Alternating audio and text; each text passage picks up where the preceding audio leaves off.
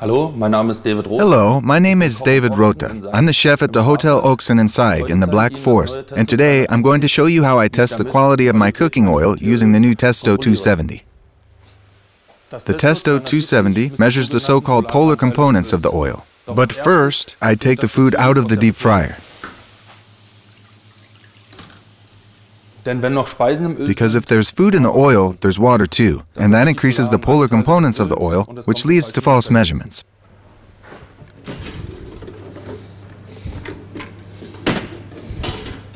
This is my Testo 270.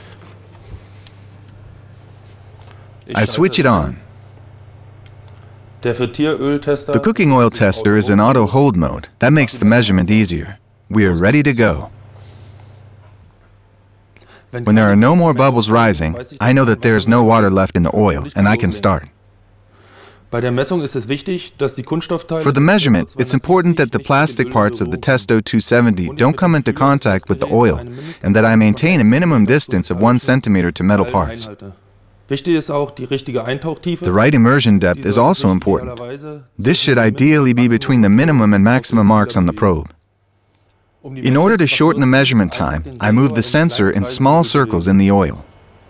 In the auto hold mode, the display with the readings starts to flash. As soon as the measurement value is stable, the display freezes. That's it. Careful, the probe is very hot. Please don't touch it. The measurement results appear in the display. The smaller value shows the temperature of the cooking oil. The larger value, and the more important one, is the TPM value. This gives the polar components in the oil, which are a sure indicator for the quality of the cooking oil. This percentage is interpreted by the backlighting of the display in traffic light colors. In our case, the display is green. Our TPM value is 14%, so everything's okay. I could now carry on with more measurements without any problems. I just need to clean the Testo 270 with a soft paper towel. However, since I've finished, I'll first note the measurement values and then clean the measuring instrument thoroughly under running water.